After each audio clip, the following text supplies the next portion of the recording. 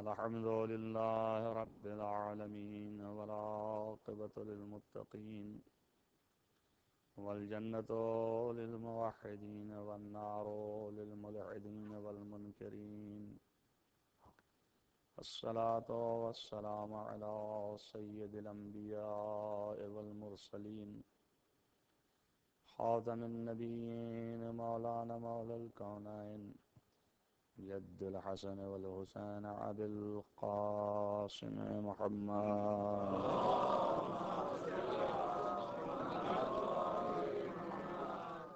ولا سيما على ابن عمه ووزيره ووسيه وخليفته. مطلوب كل طالب غالب كل غالب. مولانا علي بن علي طالب.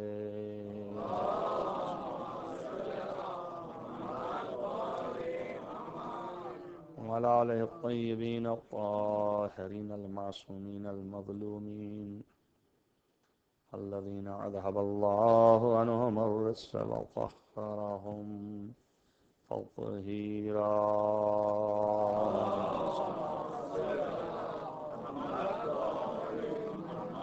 ولعنة الله على أعدائهم أجمعين. من يومنا هذا إلى قيام يوم الدين.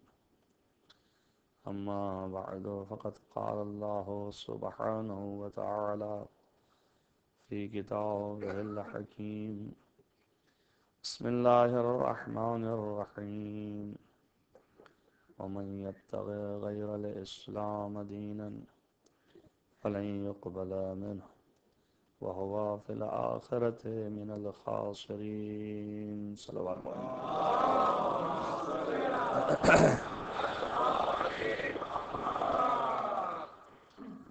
آپ سبھی حضرات آگاہ ہیں کہ میں مسلسل مجالس یہاں پڑھا کرتا ہوں جب آتا ہوں تو۔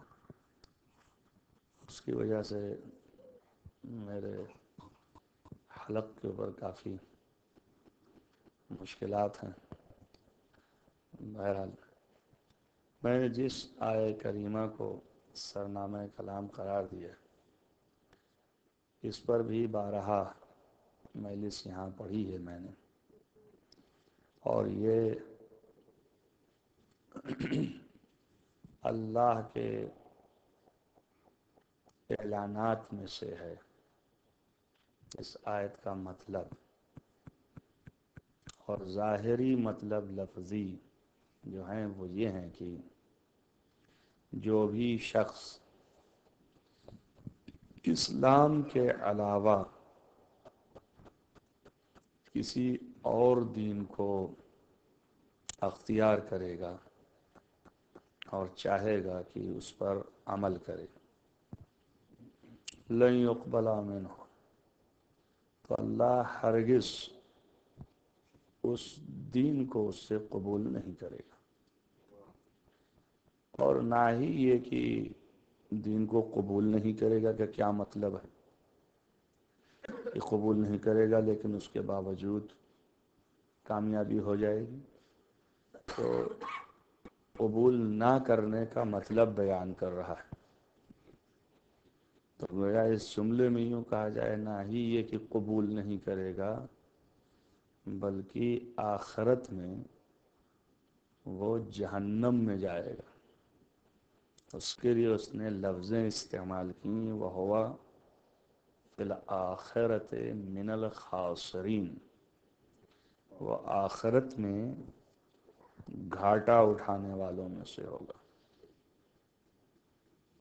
یعنی قرآن مجید میں بہت جگہوں پر لفظ خاصرین آئی۔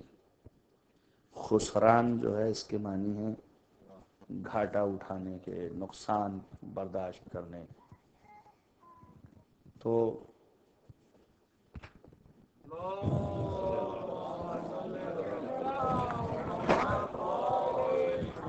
بہت قریب۔ اچھا۔ محمد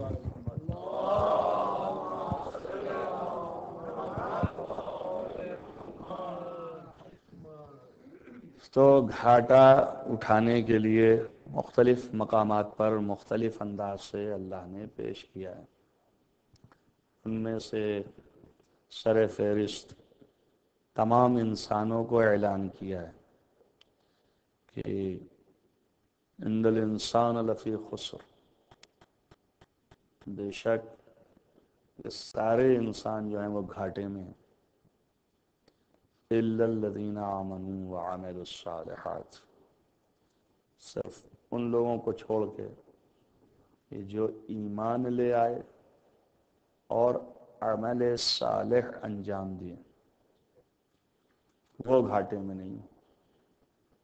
یہ بھی تقریباً اسی بات کی ترجمانی ہے کہ دین اسلام چھوڑ کر کے اگر کسی اور مسئلہ کو مذہب کو آپ اختیار کریں، کسی دین کو اختیار کریں، تو پھر آخرت میں گھاٹا والے ہوں گے۔ گھاٹے میں جائیں گے، گھاٹا ظاہر ہے کہ نفع وہاں جو ہے وہ کوئی ایسی چیز نہیں ہے کہ تجارت میں نفع اور نقصان ہوتا ہے۔ تو اب وہاں نفع کے معنی جو ہیں وہ جنت ہے اور نقصان کے معنی جو ہیں وہ جہنم اور وہ تجارت یہاں کرنی اسی لیے مختلف جگہوں پر اللہ نے یہ بھی کہا ہے کہ کتنے ہی باولے ہیں وہ لوگ کہ جو دنیا کے بدلے آخرت بیچ لیتے ہیں۔ اس طرح کی قرآن مجید میں آیت جو ہے بیان فرمائی۔ کبھی یہ کہا کہ کیا یہ ذرہ برابر عقل نہیں رکھتے، نہیں سوچتے کہ یہ لوگ جو ہیں وہ دنیا خرید رہے ہیں اور آخرت کا معاملہ کر رہے ہیں۔ اب مسئلہ یہ ہے کہ دنیا تو دکھائی دے رہی، جو چیز سامنے ہے اس کا معاملہ اچھا ہوتا ہے۔ بنسبت اس کے کہ جو نہ دیکھ رہے ہوں۔ آخرت دیکھا کس نے؟ کسی نے دیکھا نہیں۔ ممکن ہے کہ بقول غالب وہی مسئلہ ہو کہ دل کو بہلانے کے لیے ہی ہے یہ۔ لہذا دنیا بہتر ہے۔ چمک ہے، رونق ہے۔ دمک ہے اور اس میں ساری چیزیں موجود ہیں اور آخرت کا تصور خالص پیش کیا جا رہا ہے اور آخرت کسی نے دیکھا نہیں۔ اور حق کا مطلب یہی ہے کہ کسی مسلمان نے بھی جو بیچارہ ایمان لے آیا ہے، اس نے بھی نہیں دیکھا۔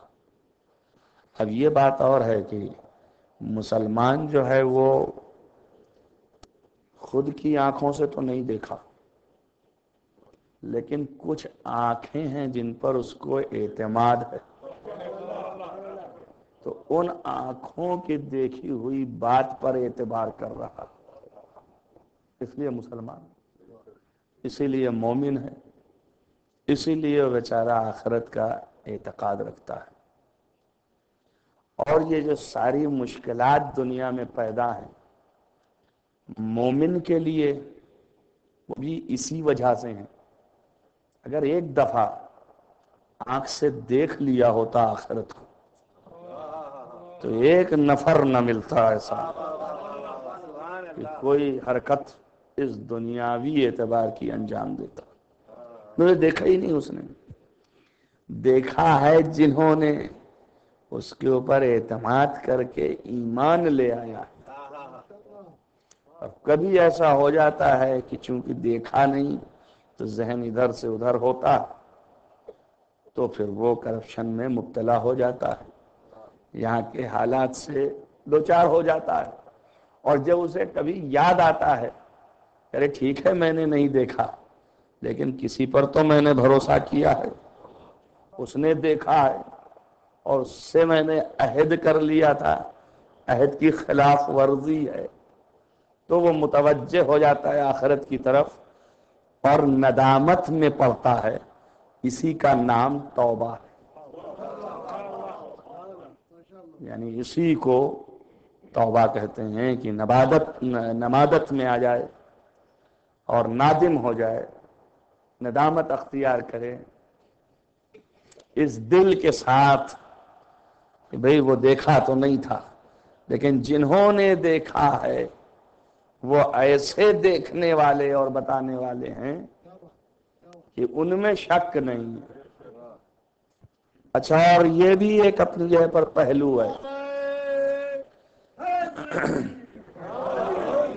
کہ خدا بند متعال، یہ بھی ایک پہلو ہے کہ جو بھی چیزیں اس نے دنیا کی، اس دنیا میں بھیجی ہیں اس قسم آخرت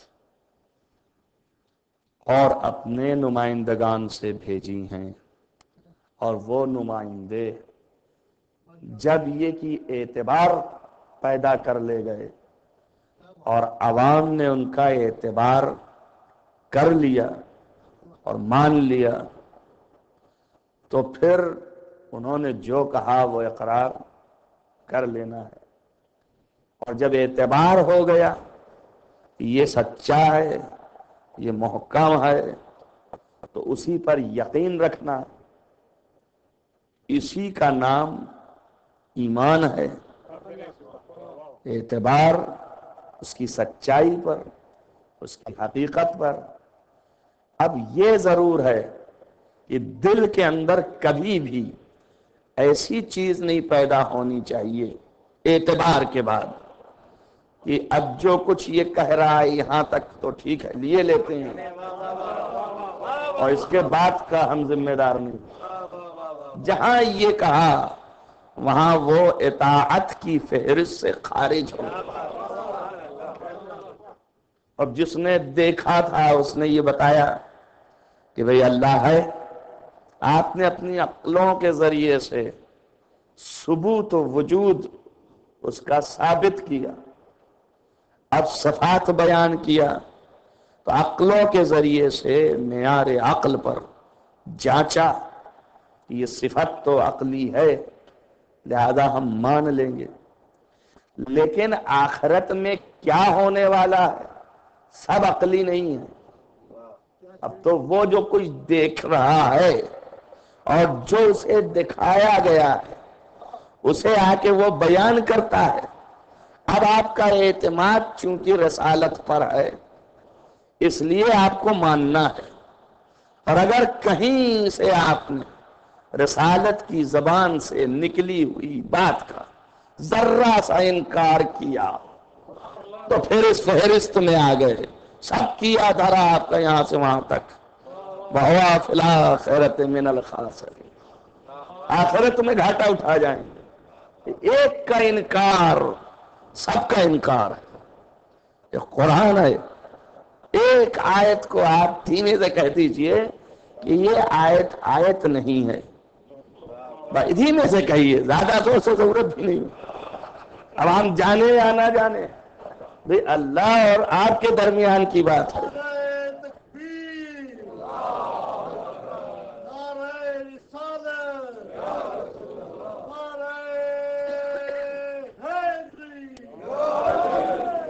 کوئی سمجھے یا نہ سمجھے۔ کوئی جانے یا نہ جانے۔ لیکن آپ دھیمے سے انکار کیجیے۔ ایک چھوٹی سی آیت کا یہ آیت نہیں ہے۔ بس دیکھیے آپ، اللہ کی فہرست میں ان لوگوں میں آپ کا شمار ہے جو آخرت میں گھاٹا اٹھانے والے ان میں سے آپ کو شمار کیا جائے گا۔ ایک آیت کے انکار سے۔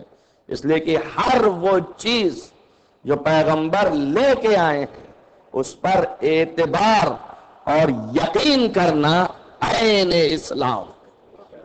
اور ذرہ برابر جو ہے آپ اس سے پھرے، انکار توحید۔ سب سے آسان چیز اقرار توحید ہے، اور سب سے مشکل چیز بقاف توحید سب سے آسان توحید کا اقرار ہے۔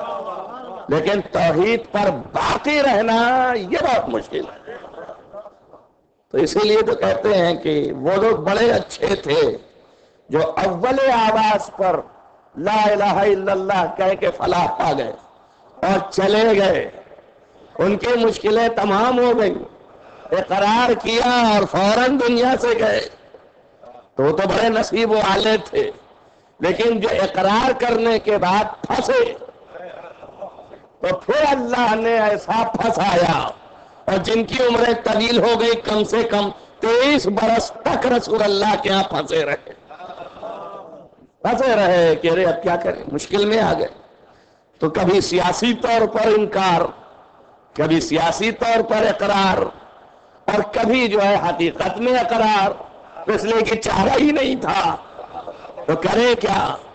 دادا، یہ ساری مشکلات ایک کلمہ پڑھ لینے کے بعد پڑھنا آسان تھا، اتنا سوچا نہیں تھا کہ یہ آسان ہوگا اتنا۔ لہذا پڑھ لیا۔ اب اس کے بعد دیکھنے لگے کہ تو بڑی مشکل چیز ہے۔ یہ تو منٹ منٹ پہ ہم کو کبھی کبھی جو ہے وہ اندر لے آتے ہیں اور پھر کبھی باہر کر دیتے ہیں۔ تو جتنے مشکلات ان کے سر پر آ رہے ہیں، یہ اندر بھی لا رہے ہیں، باہر بھی کیے دے رہے ہیں۔ یہ کیا کروں میں؟ یہ مشکل کیسے حل ہو؟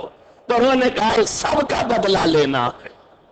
پھر اس لیے کہ ان کا تو معیار یہ ہے کہ ایک لمحے کے لیے ہم نے غفلت کی تو ہم اس دائرے سے نکل جائیں گے تو اب کتنی دفعہ ہم داخل ہوں گے اور کتنی دفعہ نکلیں گے؟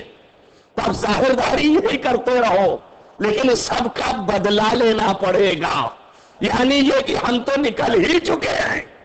مگر اب یہ ہے کہ ہم طرح کے چلے جائیں؟ اور کو بھی ساتھ لے کے جائیں۔ لہذا ایسا کچھ انتظام کرو کہ قیامت تک ساتھی ملتے رہ جائیں۔ ذرہ بڑا فرق نہ آنے پائے۔ سلام محمد وال محمد۔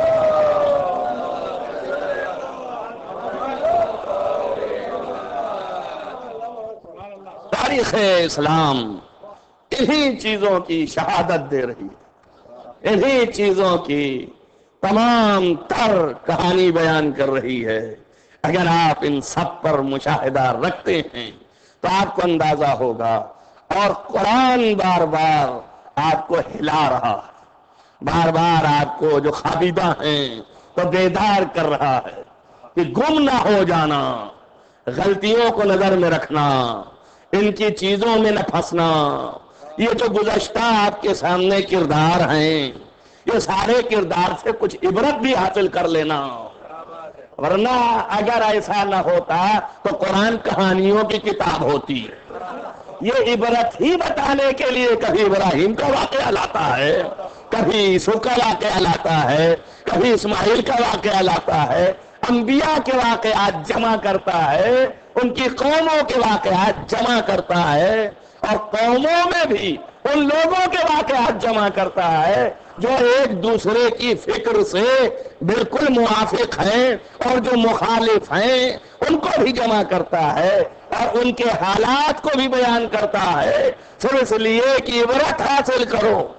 تم عبرت حاصل کرو اور اس سے نتیجہ لو کہ دین کیا چیز ہے اور اللہ کیا چاہتا ہے۔ اس کے نظریے کو دیکھو۔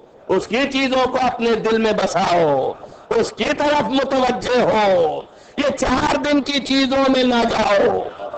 یہ لوگ جو چار چار دن والے ہیں، ان کے کردار کو دیکھ ہی لیا تم نے کہ کیا ہے۔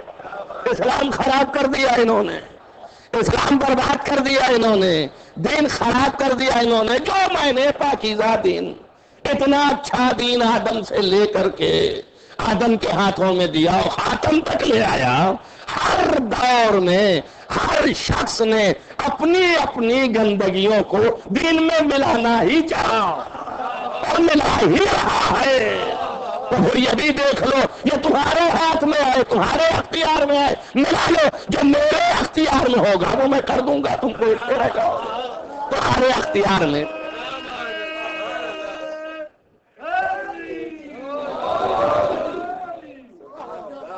تمہارے اختیار میں ہے، ملانا۔ ہمارے اختیار میں ہے، دور کو کھینچ لینا۔ یہ نہ سمجھ لینا، یہ وقتی ہے۔ جو کچھ بھی ہے، تم کو اس جہان میں جو مل رہا ہے، وہ بھی میرا فیض ہے۔ قسم خدا کی، خدا کتنا رحمان ہے، کتنا رحیم ہے، کتنا وسعت قلبی رکھتا ہے کہ ہر ہر طرح سے آپ مخالفت پر اڑے ہوئے ہیں، ہر ہر طرح سے دشمنی کر رہے ہیں، اس کے بعد بھی دیتا جا رہا ہے، کھلاتا جا رہا ہے، پالتا جا رہا ہے، بتاتا جا رہا ہے کہ تم کتنے نا شکر ہو، مگر میں کتنا تمہارا احترام کر رہا ہوں۔ آپ اندازہ کریں، یہ ربانیت کے تقاضے ہیں۔ ربانیت کے تقاضے ہیں کہ مخالف جتنا ہی مخالف ہو جائے، مگر ہم چونکہ رب ہیں لہذا ہم مخالفت نہیں کر سکتے۔ ہم پالے ہیں، ہم پالے، یا اللہ، ان کو نہ پال۔ یہ فساد برپا کر رہے ہیں کہ یہ بھی عبرت کا مقام ہے۔ جتنے ہی فساد کرتے جائیں گے، اچھے دیکھتے دیکھتے اپنی اصلاح کرتے چلے جائیں گے۔ سلام محمد الحمد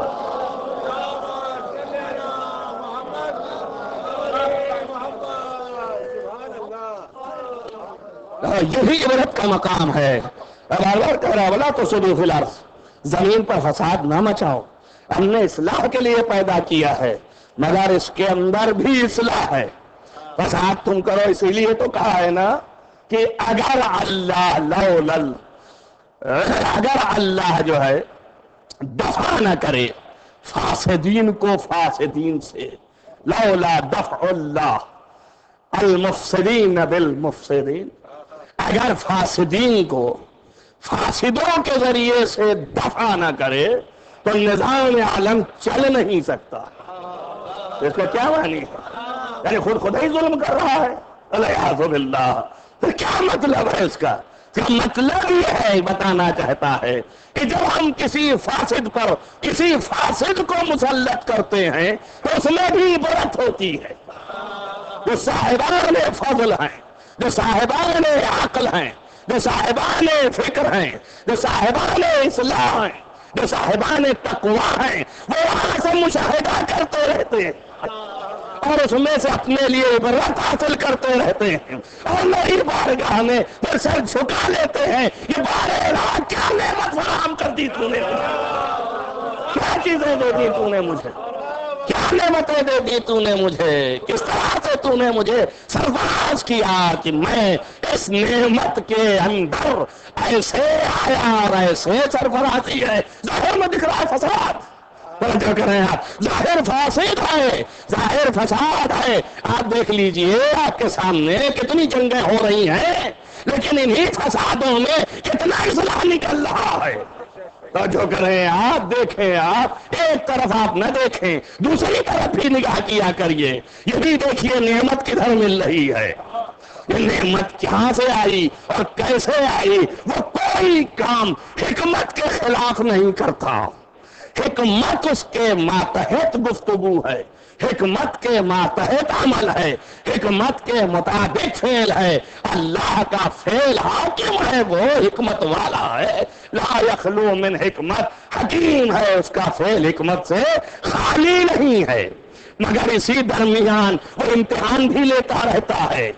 امتحان بھی لیتا رہتا ہے۔ اسی لیے تو میرے مولا نے فرمایا ہے کون فل فتنتے کا ابن اللبون ایسے بن جاؤ فتنے میں جیسے اونٹ کا بچہ۔ توجہ کریں آپ۔ لا یذرا ولا یولا لا یرکب ولا یولا نہ تو اس سے دودھ دو سکتے ہیں آپ، اور نہ ہی سواری کر سکتے ہیں آپ۔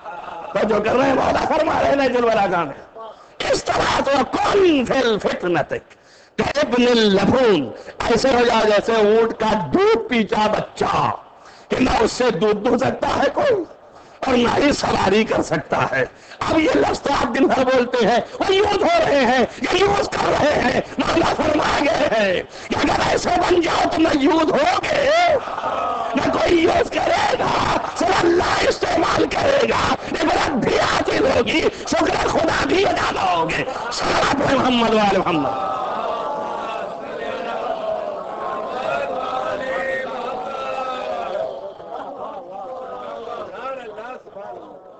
لہذا عبرتوں کے لیے اس نے قرآن رکھا ہے۔ امال سارے قوموں کے کھول کے رکھا ہے۔ اور واضح کیا کہ دیکھو یہ جو اللہ ماننے کا دعویٰ کرتے ہیں، وہ اللہ نہیں مان رہے۔ آپ دیکھیے، قرآن ہے یہ۔ ہماری آپ کے عبرت کے لیے آیا، ہماری آپ کی تعلیم کے لیے آیا، ہماری آپ کی تربیت کے لیے آیا۔ معصومین بھیجے گئے کہ جو اس کے اندر ہے، وہ عمل کر کے دکھا رہے ہیں۔ آپ دیکھیں نا، آپ کے بھی سمجھ میں نہیں آتا، میرے بھی سمجھ میں نہیں آتا۔ جو فرمایا، کون فی فتنت کا ابن اللبون؟ یہ جو فرمایا، ابھی ہم نے آپ کے سامنے پیش کیا، خالی فرما نہیں دیا، عمل بھی کیا۔ ایک دو سال نہیں، پچیس سال عمل کیا۔ عقل چاہیے آپ کو، سمجھ لیجیے آپ، کسی نے کوئی استعمال نہ کر پایا۔ آج تک چیری سیکھی ہے۔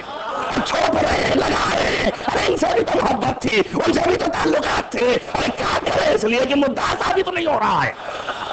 وہاں تو یہ ہے اب لگا رہے ہیں ان کے، پیش کر رہے ہیں ان کو، حساب ان کا ٹھیک کرنا چاہتے ہیں، کسی طرح کھینچ کے شامل کر لیں۔ اللہ نے کہا، ہم دیکھ رہے ہیں، تمہارے لگانے سے کچھ نہیں ہوگا۔ ہم سمجھ رہے ہیں، لگانے سے کچھ نہیں ہوگا۔ اور جب موقع آیا پھر سامنے کھڑے ہو گئے اور فرمایا کہ جیسی طاقت میرے اول اسلام میں تھی، ویسے ہی طاقت میرے آخر اسلام میں بھی ہے۔ تو بتا دیا جو اول میں میں کر رہا تھا، وہی جب آخر میں کر رہا ہوں، تو بیچ کا نتیجہ لے لو۔ توجہ کیجیے آپ۔ بڑا فتنا تھا، میں لبون بنا ہوا تھا، لیکن اس سے عبرت حاصل کر لینا۔ کہ جہاں پر مسلحت الہی میرے پیش نظر ہوگی، وہاں میں پھر آؤں گا سامنے۔ وہاں تم کو نہ استعمال ہونے دوں گا کہ تم مجھے استعمال کر لو اور نہ ہی اس کا نعرہ لگانے دوں گا۔ محمد والے محمد۔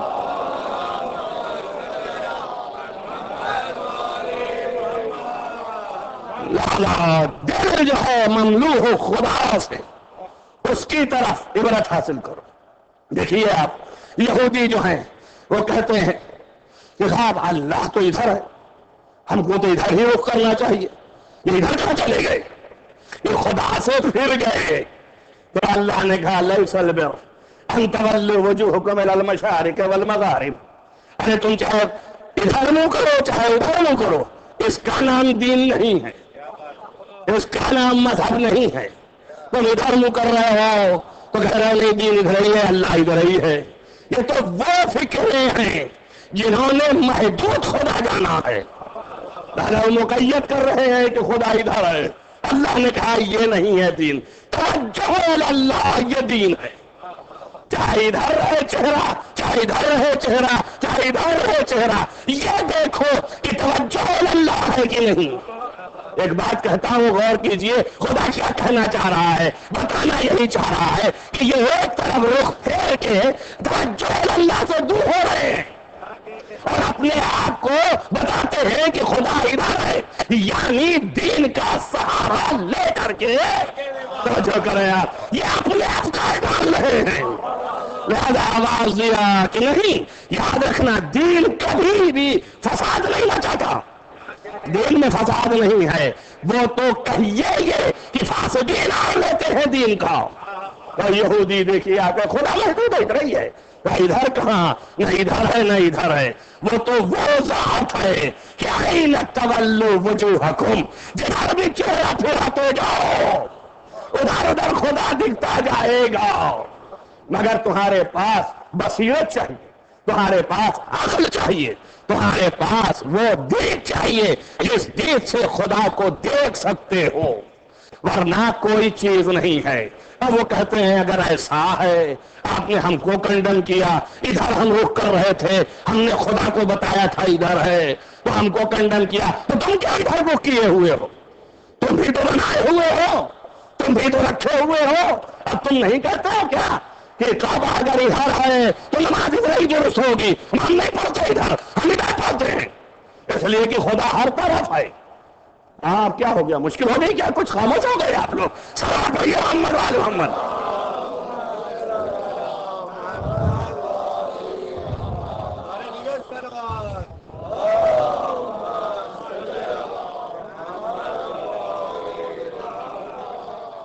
مشکل ہو گئی کچھ تمہیں؟ خاموش کیوں ہو گیا؟ بھائی خدا تو ہر طرف ہے نا۔ تو ہم آج ادھر رخ نہیں کریں گے۔ اگر ادھر قبلہ ہے تو ہم ادھر کریں۔ اس لیے کہ اللہ ادھر ہے۔ ہم کو اللہ کی عبادت کرنی ہے۔ تو اب یہ تو نہیں ہے نا معاملہ۔ اللہ نے کہا، ٹھیک ہے کہ میں ہر طرف ہوں۔ جدھر جدھر نگاہ کرو گے۔ لیکن کچھ اصول بھی ہوتے ہیں۔ قاعدے بھی ہوتے ہیں۔ اگر اصول و قاعدہ نہ اپناؤ گے جنگلی بن جاؤ گے۔ جنگل میں زندگی نہیں گزارنے کے لیے بھیجا۔ ہم نے تم کو اصول دیے ہیں، قاعدے دیے ہیں۔ تمہیں بتایا ہے اجتماع کے قاعدے کیا ہیں، سماج کی اہمیتیں کیا ہیں، ایک دوسرے کی خواہشات کی اہمیتیں کیا ہیں۔ آپ ایک دوسرے سے تعلقات کس طرح کریں؟ یہ ساری چیزیں میں کیوں لے آیا؟ اسی لیے لے آیا کہ جنگلی نہ بنو۔ وہ صرف حیوان جنگل میں رہتے ہیں ایسے۔ جب ضرورت پڑی پیٹ پال لیا اور جب اس کے بعد مست ہو گئے تو پھر سو گئے۔ اور پھر اٹھے، پھر پیٹ پال لیا۔ تو ایسا نہیں بنو میں ہوں چاروں طرف۔ لیکن مسئلہ یہ ہے کہ اگر اصول سے نہ ہوگے تو ٹکراؤ پیدا ہوگا۔ پھر فساد برپا ہوگا۔ دادا فساد ختم کرنے کے لیے اصول یہ ہے کہ اس طرف جھکو۔ یہ مطلب نہیں کہ میں ادھر ہی ہوں صرف۔ ادھر بھی ہوں، ادھر بھی ہوں، ادھر بھی ہوں۔ تو ادھر جھکوں کیوں؟ کس لیے جھکوں۔ کہا، اس لیے کہ میری طرف نسبت ہو گئی۔ اب نسبت کا تو احترام کر۔ اس لیے کہ میں نے کہہ دیا ہے، تو میری طرف نسبت ہے۔ وہ کون سی نسبت ہے؟ کہا، بیت اللہ کا ورنہ ہے کیا؟ کچھ بھی نہیں ہے۔ وہی پتھر ہے۔ وہی پتھر ہے اور تو کچھ بھی نہیں۔ اور وہی مٹی ہے، وہی چونا ہے۔ جس کے اوپر پتھر کو پتھر رکھا ہے۔ اور اس کے بعد بنایا، اس کی کیا حیثیت ہے۔ کیا حقیقت ہے؟ بنانے والا ابراہیم و اسماعیل، آپ کی نظر میں ایک بشر ہی تو ہے۔ تو جو کریں آپ آپ کی نظر میں ایک بشر ہی تو ہے تو کیا اہمیت ہو گئی؟ جگہ اہمیت یہ ہے کہ میں نے حکم دیا کہ بنا۔ تو اس نے میرے حکم کا احترام کیا اور بنایا۔ اور میں نے حکم دیا کہ میرا گھر کا اس کو، اس نے نسبت اس گھر کی میرے طرف دے دی۔ اب جب نسبت دے دی تو ظاہر میں پتھر ہے توجہ کرو میری بات پر۔ ظاہر میں پتھر ہے لیکن باطل میں نسبت میری پا جانے کے بعد عظمت اس کی بلند ہو گئی۔ اب سارے دنیا کے مسلمان اسی کے سامنے جھکے۔ جو کرے آپ یا اللہ، یہ پتھر ہے پتھروں سے بیداری ہے یہ سب بت ہے یہ کھا گئے۔ جو کر رہے ہیں اللہ نے کہا جی ہاں وہ بت تھے جو میری مخالفت میں آئے تھے۔ جو کر رہے ہیں آپ۔ یہ پتھر میری موافقت میں آئے۔ ایک بات یہ بھی سمجھ میں آ گئی کہ چیز ایک ہی ہے۔ جو کرو میری بات پر۔ نہ حقیقت بدلی، نہ کوئی شہ بدلی۔ چیز ایک ہے۔ فرق سے اتنا ہے کہ در نسبت خدا ہے، در مخالفت کی نسبت ہے۔ جو کرے۔ وہ جو چیز مخالفت کے آئینے میں آ جائے۔ وہ خدا کی دشمنی میں آئے لہذا خلاف توحید ہے۔ اور جو خدا سے نسبت پا جائے، اہل توحید ہے۔ اس پر اللہ کوئی حیثیت نہیں ہے۔ پتھر ہی تو ہے۔ حضرت اسود کیا ہے؟ پتھر ہی تو ہے۔ یہ جو اتنے یہاں سے وہاں تک دیواریں بنی ہیں پتھر ہی تو ہے۔ یہ جو چھت کہی گئی پتھر ہی تو ہے۔ یہ سارے پتھر ہیں۔ اور اوپر سے ڈھاکا تو یہ کپڑا ہی تو ہے۔ اور وہ بھی کپڑا کالا ہی تو ہے۔ وہ جو کرے ہیں سفید نہ لگایا، جنت کا لباس سفید ہے اے اللہ، یہ پتھر جو جنت سے آیا تھا، اس کو سفید ہی رکھتا۔ پہلے وہ کالا ہوا جا رہا ہے۔ نام بھی بیچارے کا حضر اسود کر دیا۔ جنت سے آیا پاکو پاکیزہ، سفید۔ مگر یہ اسود کیسے ہو گیا؟ کہا ان کے نام ہے اعمال۔ سب کے جو چپک رہے ہیں اس میں۔ سب اس نے کالا کر دیا۔ ہمیں کتنا بڑا کرے گا، اس پتھر کا ہے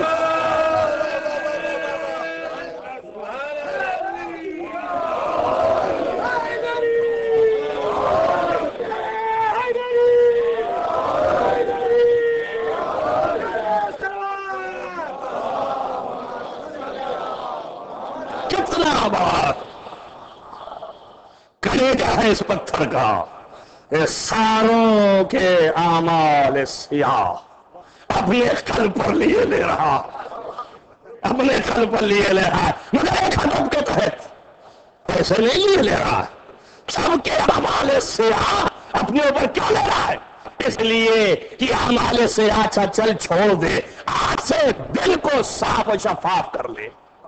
آج سے پاکیجہ ہو جا، آج سے طاہر ہو جا، آج چل تیری تیری سیاہی میں سمے کو لے رہا ہوں یا اللہ، یہ پتھر سیاہ کیا ہوا سارا عالم اسلام لکھ رہا ہے۔ کہ عالم اسلام کے گناہوں کو قسم کر کے اسود ہو گیا۔ تو ایک بات معلوم ہو گئی کہ کچھ لوگ ہیں جن کے قلوب اتنے زیادہ کر رہے ہیں۔ اتنے زیادہ وہ ہیں۔ کہتے ہیں، ٹھیک ہے تم پاکیزہ ہو جاؤ، ہم برداشت کیے لے رہے ہیں۔ اللہ اکبر اب نہ پوچھنا یہ کیوں وہ کیوں؟ یہ کس لیے وہ کس لیے؟ وہ میرا دل اتنا وسیع ہے کہ تو کی تو میرے در پر آیا ہے۔ اللہ اکبر، یہ پتھر بتا رہا ہے کہ اگر جنتی ہو جائے جو کرے ہیں اگر شاید جنتی ہو جائے، تو اس کے در پر جب آؤ گے، تو کبھی بھی وہ تمہیں خالی نہیں جانے دیتا۔ ہمیشہ تہارت سے مدین کر کے بھیجنا چاہتا ہے۔ آپ سوچیں جو جنت کا ہو جائے، جو جنت کی مخلوق بن کے آئے، اس کی یہ کیفیت ہو جائے کہ تمہیں تہارت بچ رہا ہو اس کے لیے جنت بنائی رہی ہو اچھا کر رہے ہیں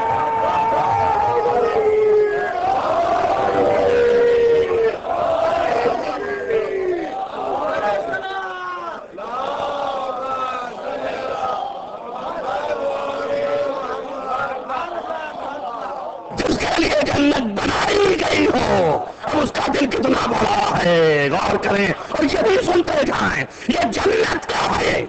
اس کے در پر آئے ہو، اگر انکار کیا۔ اللہ اکبر، اگر انکار کیا اور کسی نظروں سے دیکھا۔ توجہ کریں ذرا برابر نظر ترچھی کی ہمیشہ کے لیے اللہ نے کہا اس کو اب داخل نہ ہونے دینا یہاں۔ ہے کہ نہیں ہے؟ وہ جنت کا ہونے والا ہے یہ خالص۔ جنت سے آیا تھا نا اگر ترچھی نگاہ کیا، اللہ نے کہا کبھی داخل نہ ہونے پائے اب جو خود مالک جنت ہے، اگر ترچھی نگاہ کیا اور نہ ملی جنت تو اس میں عیب کیا ہے؟ اس کی تو ملکیت ہی ہے۔ تو پہلے ہی قانون بنا دیا یہ داخل نہ ہونے پائے، داخل نہ ہونے پائے۔ کہیں سے ترچھا دیکھا، آنکھیں لڑائی تو بڑی مشکل ہو جائے گی۔ میں کوئی لفظ استعمال کر رہا ہوں۔ ترچھا دیکھا تو یہ مشکل ہے۔ نکال باہر کر دوں گا؟ لڑائی تو پھر اس کے اور بھی مشکلات ہیں۔ میں خالی باہر کر دوں گا وہاں بھیجوں گا کہ پھر اس کے بعد تمہیں کوئی کنواں نظر نہیں آئے گا۔ صلوات محمد والے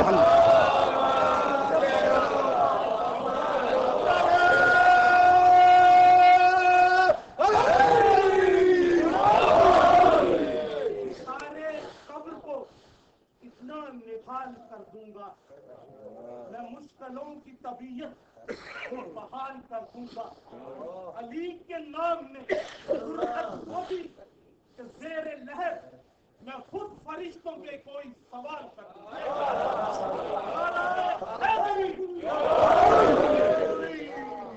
اب دیکھیے، اللہ نے کتنی عبرت کی چیزیں پیش کی۔ کتنا محکم لے آیا۔ اور میری نسبت ہو جانے سے تمہیں احترام کرنا ہے۔ وَمَن يُعَظِّمْ شَائِرَ اللَّهِ اب اس کی مروا کی کوئی حیثیت نہیں ہے۔ وہ ایک جگہ ہے۔ یہاں سے آج جائے پہاڑی ہے۔ اور ادھر سبھا کی بھی کوئی حیثیت نہیں ہے۔ تو کیا حیثیت ہے۔ مگر یہ کہ یہاں سے حاجرہ دوڑی وہاں چلی گئی۔ اور وہاں سے پھر دوڑی یہاں پھر آ گئی۔ آج تک کروا رہا ہے۔ دو سب دوڑ رہے ہیں دیکھتے مسلمان ہیں اب دوڑ نہیں پا رہے، جگہ نہیں ہے، تم وہیں پوچھ سکتے ہیں۔ ارے کاہے کے لیے؟ ان مردوں پر واجب کر دیا۔ یہی پوچھ رکھنا پڑے گا تم کو۔ عورتوں کا حصہ حاجرہ نے کر لیا ہے۔ نہیں کچھ سمجھ میں آیا؟ حاجرہ نے عورتوں کا حصہ کر لیا، اس لیے عورتوں پہ ثابت ہو گیا۔ ایک بات یہ بھی سمجھ میں آ گئی کہ کچھ اعمال ایسے ہوتے ہیں کہ جسے تو دوسروں کو ضرورت نہیں ہوتی۔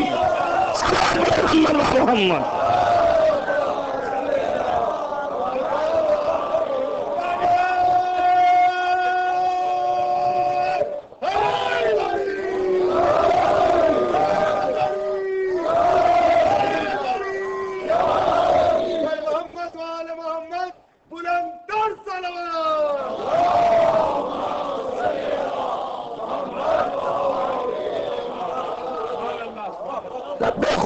خود روایتیں نہیں ہیں، سمجھنے کے لیے ہیں، عبرت کے لیے ہیں کہ کوئی حیثیت نہیں ہے، نہ سبھا کی، نہ مروا کی۔ کیا حیثیت؟ ایک جگہ ہی تو ہے۔ لیکن چونکہ حاجرہ نے امتحان دیا، بحکم خدا دیا، بنسبت خدا کیا۔ جو کریں آپ، زمین کی اتنی بڑی حیثیت ہو گئی جس کو دیکھو قرآن لیے بیٹھا ہے۔ کیا بھائی؟ جب قرآن کی تلاوت نہیں معلوم آپ کو؟ اتنا ثواب ہے۔ ہمیں یہ زمین ہے۔ اس کی کیا حیثیت؟ یہ پہاڑی ہے۔ اس پر کیوں بیٹھے ہو؟ قرآن ہے جو کچھ دیکھو، اس کو بس خالی۔ قرآن پڑھو، قرآن کو دل میں بساؤ۔ کہاں یہ پتھر پہ آ کے بیٹھے ہو؟ یہاں بیٹھنے کا کیا فائدہ ہے؟ میں کمرے میں بیٹھو۔ زحمتیں مت اٹھاؤ۔ بات کے مت آؤ یہاں پہ۔ کیا ملنے والا ہے؟ قرآن پڑھو قرآن پڑھو، قرآن دیکھو۔ اور قرآن کو دل میں بیٹھاؤ۔ بھائی یہی کافی ہے۔ کریں گے؟ نہیں آپ سمجھے نہیں ہیں۔ اسلام آپ کو نہیں معلوم ہے۔ دین تو اسی کا نام ہے۔ کہ یعنی اس کے معنی یہ ہے کہ دین میں سارے خرافات ہیں۔ آپ ایسا نہ کہیے گا۔ اگر ایسا کہا تو سے آپ خارج ہو جائیے گا۔ یہ خرافات نہیں ہے اب مجھے تو یہی دکھ رہا ہے جو زمین ہے، یہ پتھر ہے یہ کیا ہے؟ خرافات ہی دکھ رہا ہے۔ یہ نہیں کہیے گا۔ اچھا یہ آپ کو خرافات نہیں دکھ رہا۔ توجہ کر رہے ہیں آپ۔ یہ آپ کو اچھا دکھ رہا ہے۔ کیوں دکھ رہا ہے؟ اللہ کا حکم ہے۔ اللہ کی نسبت ہے۔ تو ایک بات سمجھ میں آئی۔ جہاں جہاں اللہ کا حکم ہے، وہاں وہاں اعلیٰ مقام ہے۔ بھئی اللہ نے تو کہا تھا ستر ہزار فرشتوں سے کہ جاؤ نیچے۔ اس گھر پہ طواف کرو تم۔ توجہ کر رہے ہیں آپ، توجہ کر رہے ہیں آپ۔ یہاں کسی فرشتوں کو نہیں دیکھا۔ کہ جا کے دعا کر کرنا صفا پہ بیٹھ کر کے۔ توجہ کرو میری بات پر۔ خالص نے نسبت دیا۔ تو اتنا بڑا ہے تو رام ہے کہ بھاگے جا رہے ہو قرآن لیے۔ خالی نسبت ہی نہیں دیا، عمل بھی کروایا۔ عمل بھی کس سے؟ ناقصوں سے نہیں، معصوم سے کروایا۔ ستر ہزار تو بھیجا، تلاش کرتے رہنا۔ ہٹنا نہیں۔ اب آپ دیکھیے، بہت بڑا عارف گزرا ہے بھائی۔ عالم اسلام بہت بڑا عارف جانتا ہے۔ اور یقیناً عالم اسلام کے نزدیک بڑا عارف ہے۔ آپ جانتے ہیں، بہت بڑا ولی ہے۔ کون جو بغداد میں ہے؟ پیرانے تیر دستے گیر۔ انہوں نے روایت کی ہے۔ انہوں نے روایت کی ہے۔ اور ان کی روایت میں کلام نہیں ہو سکتا۔ ہے اس لیے کہ پیران پیر دستے گیر انہوں نے فرمایا کہ رسول اللہ نے فرمایا ہے۔ وہ بھی رسول اللہ کو بھی کیا لگی ہوئی تھی۔ واقعہ پھر ہونے والا ہے چالیس سال کے بعد۔ پچاس سال کے بعد۔ آج کیا لگی ہوئی ہے آپ کو بیان کر رہے ہیں۔ اور بیان کر رہے ہیں کہ اس قبر پر ستر ہزار ملک آ کے طواف کرتے ہیں۔ اب سوچئے آپ ملک طواف کرتے ہیں۔ ملک طواف کرے تو حکم خدا ہے۔ یہ امر خدا ہے۔ یہ فعل جو ہے، سیرت خدا بن رہی ہے۔ توجہ کریں آپ۔ ملک طواف کرے تو اہل عبادت ہے۔ ملک طواف کرے تو اہل دین ہے۔ ملک طواف کرے تو اہل اسلام ہے۔ مومن بیچارہ گھوم لے۔ تو طواف تو کھوا کھوئی ہو کیا کر رہے ہو؟ اللہ اکبر، یہی نظریں ہیں وہ تھا یہ مکیل ہے اس کا بتانا چاہتا ہے بتانا چاہتا ہے وہ طواف گھر ہے اور یہ اس گھر والا ہے، جیسے اس کا طواف ویسے اس کا طواف کتنے طواف ہیں اسلام میں؟ ہر طواف مائے ناف طواف جس کا کوئی بدل نہیں ہے، اب چونکہ بہت دیر سے میلی شروع ہوئی، اور لہذا اتنے پہ ختم کرنا ہے آپ کو کل کام پہ بھی جانا ہے اور کل بھی ہمیں جو ہے وہ چنگھاڑنا ہے صحیح۔ کیونکہ آپ کے ذہنوں کو قریب لانا ہے کہ آپ دین سے نزدیک ہوئیے۔ جسے آپ دین سمجھ رہے ہیں وہ دین نہیں ہے۔ جسے خدا کہہ رہا ہے اس دین کو مانیے۔ نسبت دیا ہے اس نے۔ نسبت مقام کو نسبت ہے۔ لہذا طواف کروا رہا ہے۔ اور طواف اب سوچئے آپ، اگر اس کو آپ عمل دیکھیں، پھر پکڑ لے گا کوئی میری لفظ کو۔ ایک آدھ سال پہلے ایسا ہو چکا ہے۔ لیکن عمل دیکھیں آپ، تو عمل میں کیا ہے طواف میں؟ ہمیں بتائیے کوئی لفظ میرے پاس نہیں سوائے ناچنے کے۔ چکر ہے نا؟ وہی ہے نا؟ لیکن عمل تو یہی ہو رہا ہے۔ مگر اللہ نے بدلا اس کے لفظ کو۔ کہا یہ طواف ہے۔ اور کس کا طواف ہے؟ اور بیت اللہ کا ہے۔ اب اگر ذہن میں کچھ اور لے کے آئے ہو تو واپس چلے جانا۔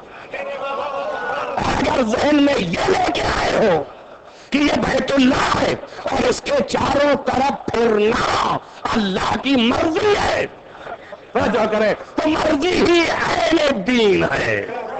تب سوچو، نہ تنہا وہاں تک نہیں پہنچاتی ہے کہ دلیل بھی تھی اور خود اتنا سوچو، لفظی اعتبار سے کہ جب مقام کا یہ عالم ہے۔ کہ جس مقام پر کسی کو پیدا کرنا ہے تو اس کا تباہ جو عبادت قرار دے دیا۔ تو پھر جو شخص کا تباہ اگر ہوگا تو میرے پاس لفظ نہیں ہے۔ وہاں تباہ کرو گے تو عبادت ہے۔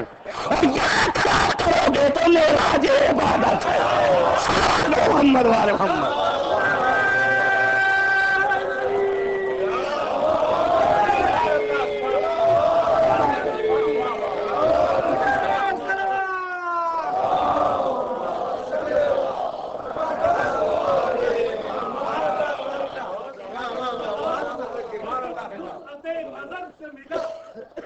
نشان منزل مقصود راہ بر سے ملا علی ملے تو ملے خانہ خدا سے ہمیں خدا کو ڈھونڈا تو وہ بھی علی کے گھر سے ملا۔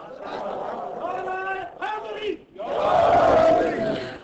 بس معلوم یہ ہوا کہ ہمیں دین حق کا قبول کرنا نسبت دی ہے تو اس نسبت سے اس نے عظمت پہنچائی کہ گھر ہیں گھر کا طواف کروا رہا ہے۔ آپ دیکھیں تاریخوں نے کہاں کہاں طواف کروایا۔ یہاں پر انسان طواف کر رہے ہیں۔ وہاں پر ملک طواف کر رہے ہیں۔ اور بتا رہا ہے کہ اجزاء کائنات آج بھی طواف کر رہے ہیں۔ ہے کہ نہیں ہے؟ ایک ذات ہے کہ جس کے چاروں طرف جو پوری کائنات کی خلقت جس پانی سے ہوئی ہے۔ جو کریں آپ۔ انا خلقنا ہم نے خلق کیا اس کائنات کو۔ من الماء، پانی سے۔ وہ پانی ایک ذات کا طواف کر رہی کر رہی کہ نہیں کر رہی تو اجزاء کائنات طواف کر رہے ہیں۔ اب بتائیے آپ، اللہ کے اوپر بگڑیے کہ کیوں طواف کروا رہا ہے پانی کا؟ اللہ چاہے تو یہ طواف ابھی بند ہو جائے۔ لیکن اللہ یہی چاہ رہا ہے کہ کروا رہا۔ یہ بھی کوئی بدل مجھے لگتا۔ یہ بھی کوئی سلا مجھے لگتا ہے۔ اگر بدل نہیں ہے، سلا نہیں ہے، تو کوئی معنی نہیں ہے۔ بھائی بیت کا طواف، اللہ کی عبادت۔ اور صاحب بیت کا طواف راج عبادت۔ نہ یہ بیت والا ہے۔ وجہ کریں آپ نہ خود بیت ہے، مگر پھر اجزا کا طواف۔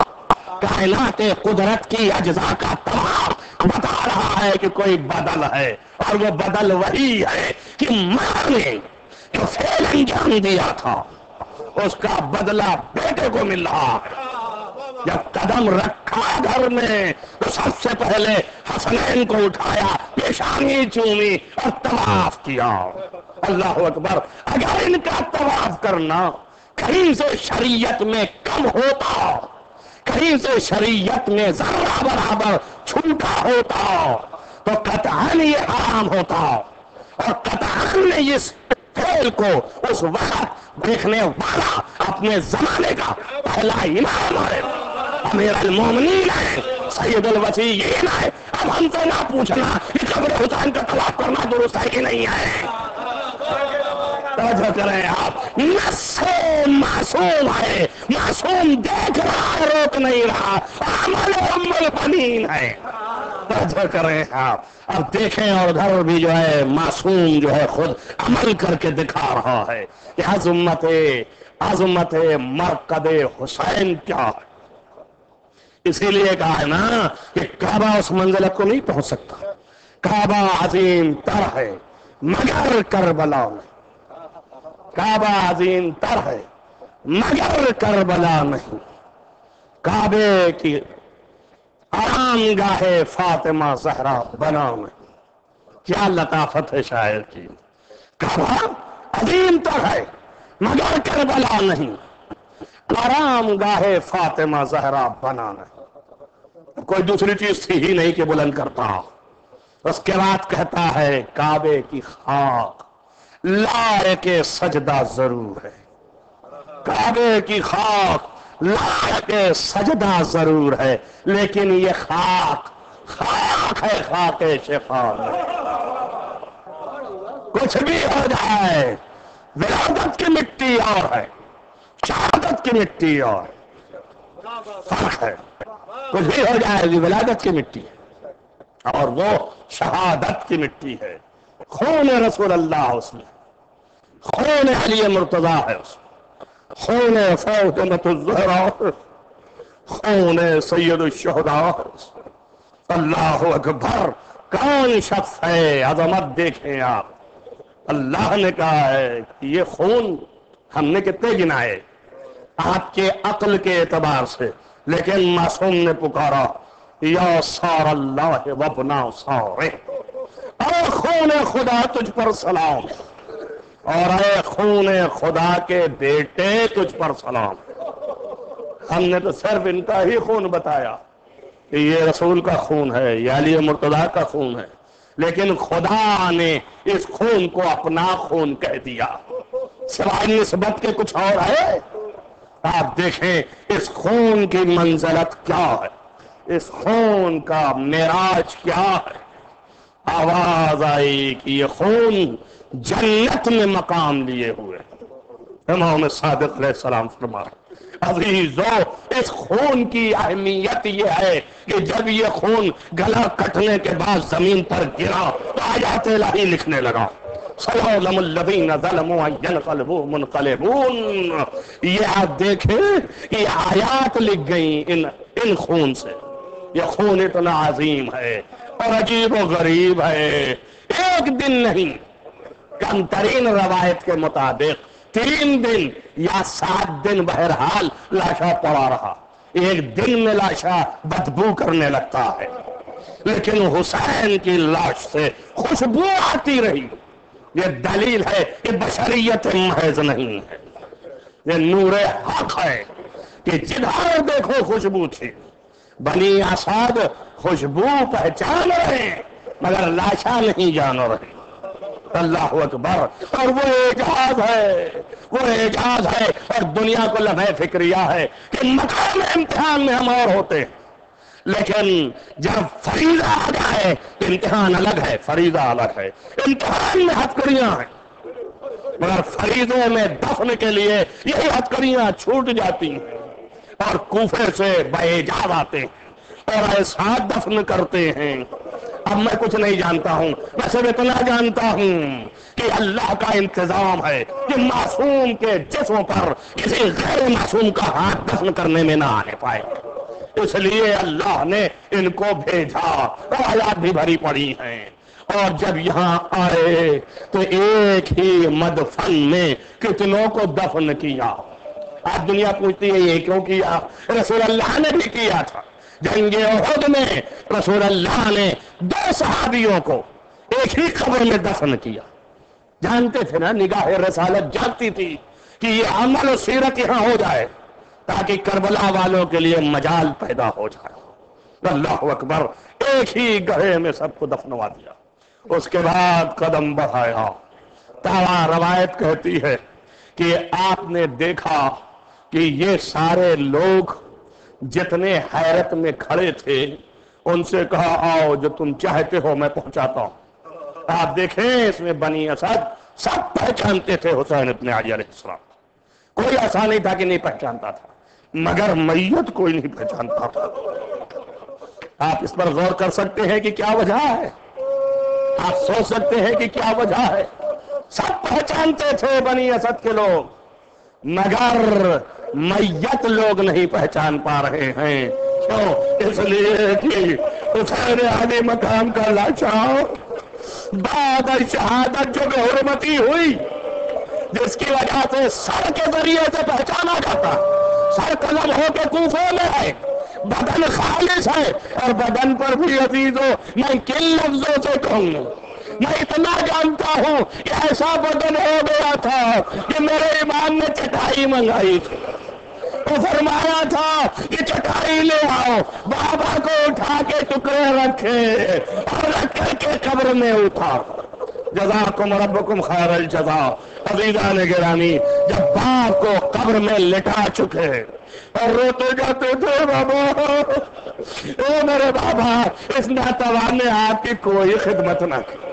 اے میرے بابا، اس کمزور نے آپ کی کوئی خدمت نہ کی۔ اے میرے بابا کاش مجھے مہلت مل گئی ہوتی، آپ پر اپنی جان فدا کر دیتا۔ بہت دیر تک روتے رہے، اس کے بعد قبر کو برابر کیا، نام اپنی انگلی سے لکھ دیا۔ حاضر قبر علی ابن حاضر قبر حسین ابن علی ابن عبی طالب۔ اور لکھ کر کے اٹھے۔ جب اٹھنے لگے تو کہا، بابا دل نہیں چاہتا چھوڑنے کا لیکن بابا، آپ تو جانتے ہیں، بہت بڑا قابلہ چھوڑ کے آیا ہو۔ ابھی تو روایت میں ہے کہ یہ کہتے ہوئے فرات کی طرف چلے۔ چند قدم پہنچے، یہ عظیم المرتبت عباس ہیں۔ لکھا یہ ہے کہ جناب زین العابدین علیہ السلام قد و قامت کے ساتھ عباس نامدار کی میت پر گر پڑے۔ آواز دو چچا۔ اے میرے وفادار چچا، آپ نے بہت بڑا کام کیا ہے۔ آپ نے بہت عظیم کام انجام دیا ہے۔ اے چچا، میری جانے میرے ماں باپ کی جانے آپ کو فدا ہو جائیں۔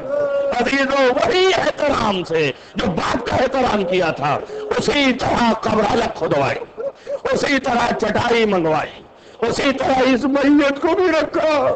میں نے کہہ دیا، آپ نے سن لیا۔ عزیزو حضرت عباس بہت رحیم و شہیم تھے۔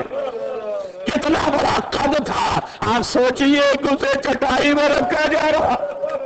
اور اس کے بعد میت کو رکھ دیا قبر میں۔ اور رکھنے کے بعد برابر کیا۔ وہاں بھی بھی لکھا۔ اور لکھنے کے بعد اٹھے۔ اٹھ کے کہا، چچا، آپ سے بڑا پیار ہے مجھے۔ آپ سے بڑی محبت ہے، بڑی عقیدت ہے۔ میرا دل چاہتا ہے آپ کے ساتھ رہوں۔ لیکن اے چچا کیسے رہ سکتا ہوں۔ آپ کی پیاری بیٹی تھی وہ جس کے ساتھ مجھے جانا ہے، عزیز و قافلہ، اب کوفے سے رواں ہوگا۔ کوفے پہنچے بائے جاس، قافلہ رواں ہوگا۔ ابھی مسائب پڑھے جا رہے تھے۔ مرثیے میں لہذا چند فقرات اور ختم کیا میں نے۔ قافلہ چلا کوفے سے، اور ایسے چلا، کوفے سے جلا جا رہا ہے تیزی سے۔ اور بڑی تیز روانی سے لے جایا جا رہا ہے۔ عزیزو لکھا ہی ہے امام زین العابدین علیہ السلام جب اپنے چچا محمد حنفیہ سے ملاقات کی تو جب انہوں نے احوال پوچھا، تو فرمایا، چچا جان، جتنی بچے اصحاب کے اہل خاندان کے چھوٹے تھے، ہم لے کے گئے تھے یہاں سے، ایک بھی واپس نہیں آئے۔ کیوں؟ اس لیے کہ اونٹوں کی کوہان سے زمین پر گر جاتے تھے۔ ظالمین اتنی تیز چلاتے تھے۔ یہ زمین پر گر جاتے تھے اور ظالمین آگے بڑھ جاتے تھے۔ ان کے تدفین کا انتظام نہیں ہوتا تھا۔ اگر نزدیک میں نواحی و کریا ہوتا تھا تو وہاں کے لوگ جب گزرتے تھے تو کمرے بنا دیتے تھے عزیزوں بچے ختم ہو گئے اور جو تھوڑے بچے تھے، قید خانے کو سپرد ہو گئے۔ اللہ اکبر، آپ غور کریں اور سوچے اس طرح سے قافلہ جا رہا تھا۔ یہاں تک کہ جب بچے گرتے تھے تو اتنا نہیں کرتے تھے، لیکن انہی گرنے والوں میں ایک بیوی تھی۔ جو ایک دفعہ گری اونٹ پر سے زینب اولیاء نے کچھ دور جانے کے بعد دیکھا کہ میری سکینہ نہیں۔ فرمایا سید الساجدین سکینہ نہیں دکھ رہی ہے۔ بجے ہی فرمایا، آپ نے کہا، شمر قافلہ روک لے۔ اے شمر، میری بہن چھوٹ گئی، لگتا۔ عزیزوں کہا، یہ جاتا ہے کہ جناب زینب اتری۔ شمر نے کہا، چلو، آگے چلو۔ فرمایا کہ شمر، ہم آگے نہیں جا سکتے۔ جب تک اپنی بہن کو نہ لے لیں، زینب بگڑ گئی۔ فرمایا، شمر کیسے کلام کرتا ہے؟ میری روح ہے میری سکینہ۔ میں بغیر اس کے نہیں جا سکتی ہوں۔ مجھے اجازت دے۔ اس نے اجازت دیا۔ اور یہ دونوں چلے۔ عزیزوں، کچھ دور آگے گئے۔ علامہ ابو تروہی اپنی کتاب میں مرج البحرین میں لکھتے تھے کہ جب نزدیک پہنچنے لگے تو سید الساجدین نے ایک نور کا مشاہدہ کیا۔ اور دیکھا کہ کوئی معظمہ ہے جو بچی کو آگوش میں لیے پیار کر رہے ہیں اور ایک بات اور لکھی کہ جب بچی چھوٹ گئی تو اس نے دیکھا کہ قافلہ نہیں ہے۔ تو نجب کا رخ کیا آواز میرے بابا، یہ آپ آئیے، یا بابا سے ملا دیجیے۔ بچی گریا کر رہی تھی تو موسم آئی۔ آپ نے آگوش میں رکھا۔ پیار کیا اور روتی جاتی تھی اور کہتی جاتی تھی بچی گھبرا نہیں، تجھے میں تیرے قافلے سے ملا دوں گی۔ عزیزو لکھا یہ ہے کہ اس قدر گریا فرمایا اسے تو ساجدین کا قلب بھر آیا۔ اور فرمایا پوپی جان، ان کو اتنا گریا کیوں ہو؟ اس بچی سے کیا پیار ہے؟ آپ آگے بڑھ کے پوچھئے۔ امام سجاد کے حکم پر جناب زینب نزدیک پہنچی اور فرمایا کہ اے معظمہ، آپ کیوں رو رہی ہیں؟ بس جیسے ہی یہ جملہ کہا، بیوی کی گریا میں اضافہ۔ فرمایا بی بی آپ کہہ رہی ہیں فکرے کے ساتھ واہ حسین جیسے ہی کہا واہ حسین فرمایا بی بی کیوں رو رہی ہے واہ حسین حسین مظلوم تھے، دنیا روئے گی، لیکن آپ کو کیا واسطہ ہے؟ اور گریا میں اضافہ ہوا۔ جب تیسری دفعہ کہا بی بی میں فاطمت الزہرا کی بیٹی ہوں۔ میں سید المرسلین کی نواسی ہوں۔ میں علی مرتضی کی بیٹی ہوں۔